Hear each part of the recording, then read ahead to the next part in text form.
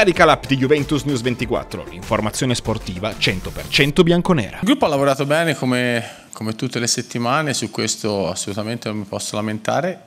Domani bisogna cercare di tornare alla vittoria perché le ultime due partite abbiamo fatto un punto. Per quanto riguarda eh, quanto mi vedo sulla panchina Juventus, innanzitutto vediamo di finire bene questa stagione nel migliore dei modi, poi ho ancora un anno di contratto e poi come noi dipendiamo sempre dai risultati e dal lavoro. Sono molto soddisfatto di questo, di questo traguardo, soprattutto perché domani raggiungo eh, Marcello Lippi che ha fatto la storia del, del calcio italiano, della Juventus, eh, oltre che a cui sono legato in modo affettivo perché è una persona straordinaria. Allora, per quanto riguarda Vlaovic non ha niente di particolare, aveva questo affaticamento sull'adduttore e settimana prossima dovrebbe essere a disposizione col Verona.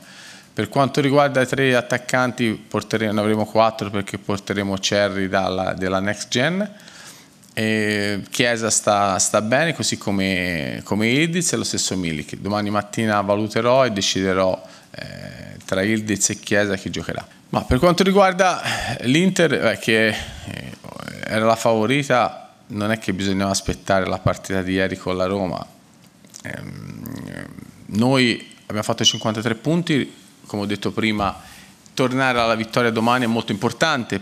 L'Inter sta facendo delle cose straordinarie. Nel 2024 credo che abbia giocato 7 partite l'ha vinte tutte e 7. Ma siamo belli dal punto di vista mentale. Eh, perdere uno scontro diretto ci sta. A Milano purtroppo abbiamo perso diciamo, contro una squadra che in questo momento sta facendo cose straordinarie.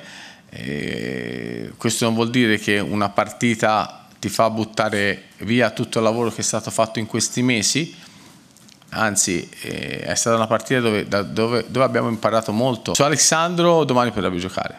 Alessandro è un giocatore importante, quest'anno ha avuto qualche intoppo, poi eh, diciamo eh, Dan, avevo scelto Danilo Gatti e Breme come diciamo come chiamiamoli titolari però Rugani, Alessandro cioè sono giocatori importanti. Alessandro è un giocatore che ha, credo quest'anno sia all'ottavo o nono anno che ha la Juventus ha vinto scudetti, ha giocato finale di Champions e secondo me è un giocatore che può dare ancora tanto al, eh, al calcio. Cioè, parola crisi diciamo non è crisi, cioè lo, lo, è una metafora, nel senso che abbiamo fatto due partite un punto e quindi è un dato di fatto e su quello bisogna lavorare, perché dopo alla fine contano, eh, contano quelle cose lì.